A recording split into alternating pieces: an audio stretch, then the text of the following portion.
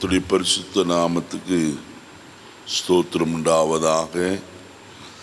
ஆசீர்வதிக்கப்பட்ட இந்த காலை வழியிலே தேவ சமூகத்தில் கூடி வர கத்தை நமக்கு பாராட்டினேன் அவருடைய இறக்கங்களை நான் நினைத்து கத்தர் அதிகமாய் ஸ்தோத்திரிக்கிறேன். இன்றைக்கும் நம்முடைய சிந்தனைக்காக யாத்ராகமத்தின் புஸ்தகம் பதினான்காம் அதிகாரம் பதிமூன்றாவது வசனத்தை நாம் எடுத்துக்கொள்வோம். அப்பொழுது மோசே ஜனங்களை நோக்கி பயப்படாதிருங்கள். நீங்கள் நின்று கொண்டு இன்றைக்கு கத்தர் உங்களுக்கு செய்யும் ரட்சிப்பை பாருங்கள். இன்றைக்கு நீங்கள் காண்கிற எகிப்தியரை இனி என்றைக்கும் காண மாட்டீர்கள் கத்துடைய மகத்துவமான நாமத்துக்கு ஸ்தோத்திரம் உண்டாகட்டும். தேவனுடைய தாசனாகிய மோசே தம்முடைய கத்தருடைய ஜனமாகிய இஸ்ரவேலரை எகிப்தின் அடிமத்தனத்திலிருந்து மீட்டு கொண்டு வந்த ஒரு சம்பவத்தை தான் நாம் பார்க்கிறோம். எகிப்திலே பார்வோனுக்கு முன்பதாக பல அற்புதங்களையும் அடையாளங்களையும் தேவன் மோசையை கொண்டு நடப்பிக்கிறவராயிருந்தார். கடைசி வாதை ஆகிய தலைச்சன்களுடைய சங்கரிப்பு நடந்தபோதுதான் பார்வோன் மோசையை பார்த்து நீங்கள் எல்லாரும் புறப்பட்டு போங்கள் என்று சொல்லி அவர்களை வழிவிட்டு அனுப்புகிறவனாய் காணப்படுகிறார். அவர்கள் கேட்ட பொன்னையும் வெள்ளியையும் வஸ்திரங்களையும் எகிப்தியர் சிறுவீடருக்கு கொடுத்தார்கள். சகல பொருட்களுடனே கூட இப்பொழுது திரும்பி காணானை நோக்கி பிரயாணப்பட்டு வருகிறார்கள். கத்தரவர்களுக்கு வாக்கு பண்ணின தேசமாகிய காணானுக்கு நேராய் அவருடைய நடை காணப்பட்டது. ஆனால் முதலாவது அவருடைய வாழ்க்கையிலே ஒரு தடை வருகிறத நாம் பார்க்கிறோம். பிரயாணத்தில் செங்கடல் அவளுக்கு குறுக்கிட்டு நிற்கிறது. செங்கடலை கடந்து அக்கறைக்கு கடந்து போக வேண்டும். ஆனால் செங்கடல் தண்ணீரால் நிறைந்திருக்கிற அந்த கடல் பார்த்து நிற்கிறார்கள் என்ன செய்வது என்று தெரியவில்லை. பின்னே பார்வோனுடைய சேனையும் பார்வோனும் தன் ரதங்களோடு கூட புறப்பட்டு வருகிறவனாய் காணப்படுகிறார். அவர்களை எப்படி ஆயிலும் திரும்ப பிடித்து கொண்டு எகிப்திற்கு கொண்டு வந்துவிட வேண்டும் என்கிற ஒரு எண்ணத்தோடு சீறி பாய்ந்து வருகிறார். இடது பக்கமும் வலது பக்கமும் மலைகள் காணப்படுகிறது. தப்பித்து கொள்ள வழி இல்லை. அப்பொழுதுதான் மோசையை பார்த்து இஸ்ரேல் ஜனங்கள் சொன்ன வார்த்தை நாங்கள் எகிப்திலே இருந்திருப்போமானால் நன்றாக இருந்திருக்குமே எகிப்திலே பிரேத குழிகள் இல்லை என்றா எங்களை இங்கே கொண்டு வந்து சாகடிக்கிறீர். அப்பொழுது மோசே கத்தரை பார்த்து முறையிடுகிறவனாய் காணப்படுகிறான்.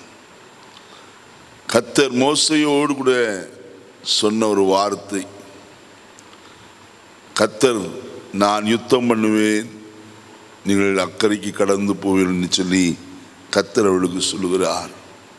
மோசையை பார்த்து கத்தர் சொல்லுகிற வார்த்தை நீயே சமுத்திரத்தை என்ன செய்?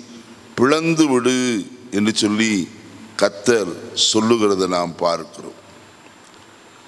அப்படிப்பட்ட சூழ்நிலையில் தான் மோசே ஜனங்களை பார்த்து சொல்கிற ஒரு வார்த்தை. பயப்பட வேண்டாம் நீங்கள் நின்று கொண்டு கத்தர் இன்றைக்கு உங்களுக்கு செய்யும் ரட்சிப்பை பாருங்கள். இன்றைக்கு நீங்கள் காண்கிற எகிப்தியரை இனி ஒருபோதும் காண மாட்டீர்கள் முதலாவது அவர்களுக்கு சொல்லப்படுகிற வார்த்தை நீங்கள் பயப்பட வேண்டாம் என்பதுதான். காரணம் பயம் அவர்களை சூழ்ந்திருக்கிறது. இவ்வளோ பெரிய தனத்திரள் கொண்ட கூட்டத்தை தேவன் அற்புதமாய் கொண்டு வந்தாரே வெளியே எகிப்திலிருந்து. இந்த ஒரு காரியமும் கத்துடைய பார்வையில் அற்பம் என்பதை ஜனங்கள் உணராமல் பயந்து நடுங்கிக் கொண்டிருக்கிறார். காரணம் சூழ்நிலை. இன்றைக்கும் சூழ்நிலைகள் வித்தியாசமாய் மாறும்போது நமக்குள்ளேயும் ஒரு பயம் வருகிறது. கலக்கம் வருகிறது. என்ன செய்வோம்? எப்படி? என்றெல்லாம் நாம் யோசித்து கொண்டிருக்கிறோம். மோச கத்தருடைய ஜனத்தை பார்த்து சொல்கிறார் பயப்பட வேண்டாம் என்று. ரெண்டாவது சொல்கிறார் நீங்கள் நின்று கொண்டு கத்தர் இன்றைக்கு உங்களுக்கு செய்யும் ரட்சிப்பை பாருங்கள். நீங்கள் வேற ஒன்றும் செய்ய வேண்டிய அவசியம் இல்லை. பேசாமல் நின்று கொண்டு கத்தர் உங்களுக்கு என்னத்தான் செய்ய போகிறார் என்று பாருங்கள். அது மிகவும் கடினமான ஒரு காரியம்தான். ஏனென்றால் சூழ்நிலை அப்படி. பார்வோனுடைய சேனை நெருங்கி கொண்டிருக்கிறது நேரமாக ஆக.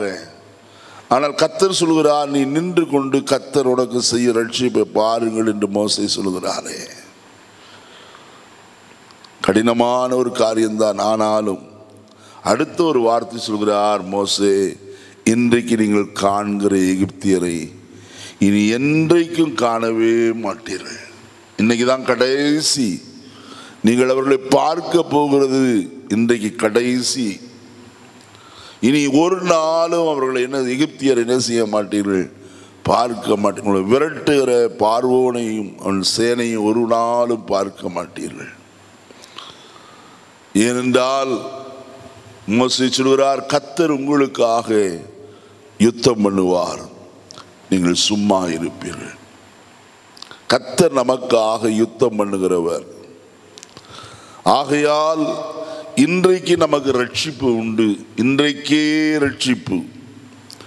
மாத்திரமல்ல வசனத்தில் சொல்லப்பட்டிருக்கிற வார்த்தை விதமாக இருக்கிறது இன்றைக்கு நீங்கள் பார்க்கிற அந்த எகிப்தியரை நீ ஒருபோதும் என்ன செய்ய மாட்டீர்கள்?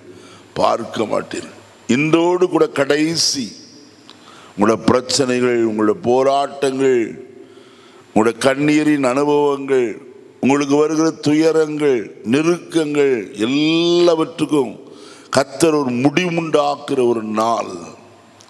இன்றோடு கூட சகலமும் முடிந்தது என்றுதான் சொல்ல வேண்டும். கத்தர் யுத்தம் செய்ய எழுந்திருக்கிறார். நம்முடைய வாழ்க்கையில் கத்தர் யுத்தம் செய்வாரானால் சகல பிரச்சனைகளுக்கும் முடிவு உண்டு என்றால் அவர் ஜெயகர்த்தராய் காணப்படுகிறவர். அவர் எல்லா நாளும் ஜெயத்தை தான் தம்முடைய பிள்ளைகளுக்கு கட்டளையிடுகிறவராய் காணப்படுகிறார். இந்த காலை வேளையிலே நம்முடைய வாழ்க்கையில் ஒரு ரட்சிப்பை தரும்படிக்கு கத்தர் எழுந்து கிரியசிக்கிறவர் வசனத்தில் என்ன வாசிக்கிறோம் அவர்களுக்கு முன்னே நடந்து போன கத்தருடைய தூதனானவர். அவர்களுக்கு பின்னே நடந்தார். அப்பொழுது இஸ்ரேவேல் ஜனங்களும் பார்வோனுடைய சேனையும் ஒருவரை ஒருவர் சேரக்கூடாதபடிக்கு இஸ்ரேவேல் ஜனங்களுக்கு பகலும் அங்கே எகிப்தியருக்கு அந்தகாரமும் வந்தது. அவர் ஒருவரை ஒருவர் சேர முடியவில்லை. செங்கடல் ரெண்டாய் பிளந்தது.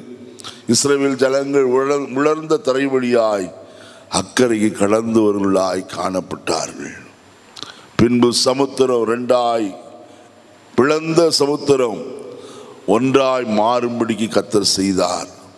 பார்வோனும் அவன் சேனைகளும் முற்றிலும் சமுத்திரத்தின் ஆழத்தில் மாண்டு போயிற்று. அடுத்த நாளிலே அவர்கள் பார்வோனுடைய சடலத்தை கண்டார்கள் என்று எழுதப்பட்டிருக்கு. அவர்கள் ஒருவனும் தப்பவில்லை. அவர்கள் எல்லாரும் கடற்கரையில் பிரேதங்களாய் காணப்பட்டார்கள். இன்றைக்கு நான் உங்களோடு சொல்கிற ஒரு வார்த்தை. உங்களுக்கு விரோதமாக எழும்புகிற எந்த ஆயுதமும் வாய்க்காது. காரணம் கத்தர் நம்மோடு கூட இருக்கிறார். நாம் கத்தரை சேவிக்கிறவர்கள் கத்தருடைய பிள்ளைகள். கத்தரால் அழைக்கப்பட்டவர்கள் கத்தருடைய சித்தத்தை செய்யும்படிக்கு வேறு பிரிக்கப்பட்டவர்கள். கிறிஸ்து இயேசுவின் ரத்தத்தினாலே நாம் மீட்கப்பட்டிருக்கிறபடியினாலே ஆண்டவர் நம்முடைய கவலைகள் பாரங்கள் துக்கங்கள் கிளேசங்கள் எல்லாவற்றையும் மாற்ற அவராலே முடியும். நமக்கா யுத்தம் பண்ணுகிற ஒரு ஆண்டவர் நம்மோடு கூட இருக்கிறார். நம்முடைய சத்துருக்குள் நம்மோடு கூட யுத்தம் பண்ண எழும்பினாலும் நமக்காக யுத்தம் பண்ணுகிற ஒரு ஆண்டவர் நம்மோடு இருக்கிறார். அவர் சேனைகளின் கர்த்தர். உங்களோட பிரச்சனைகளுக்கெல்லாம் இன்றோடு ஒரு முடிவை கத்தர் ஏற்படுத்தி நீங்கள் ஜெயத்தோடு கூட வாழ கத்தர் தாமே உதவி செய்கிறவராய் காணப்படுவார். அதில் ஒன்றை நாம் புரிந்து கொள்வோம். இன்றைக்கு நீங்கள் காண்கிற இந்த எகிப்தியரை இனி ஒருபோதும் காண மாட்டேன் இன்றைக்கு உங்களுக்கு காணப்படுகிற உங்கள் கண் முன்பதாய் நிற்கிற பிரச்சனைகள் இன்றைக்கு உங்களுக்கு முன்பதாய் பயமுறுத்தி கொண்டிருக்கிற காரியங்கள் ஒருவேளை கடன் பாரமோ பொருளாதார நெருக்கடியோ அல்லது எவைகளானாலும் கத்தர் அவைகளை மாற்ற உண்மையுள்ளவராய் காணப்படுகிறார். அவரால் கூடாத காரியம் ஒன்றுமில்லை. கத்தர் பெரியவர் பெரிய காரியங்களை செய்கிறவர். ஆகையால் இன்றைக்கு தேவனுடைய ரட்சிப்பை நாம் பார்ப்போம். அவரே நமக்கு ஆயுத்தம் செய்து நமக்கு ஜெயத்தை நமக்கு கொடுக்க உண்மையுள்ளவராயிருக்கிறார். அவரை நாம் விசுவாசிப்போம். அவர் பேரில் நம்பிக்கையுடையவர்களாய் காணப்படுவோம். அவர் சகலவற்றி நேர்த்தியாய் நமக்கு முடித்து கொடுக்க உண்மையுள்ளவராயிருக்கிறார். தேவன் தாம் இந்த வார்த்தைகளை நமக்கு ஆசீர்வதித்து தருவாராக. ஆம்.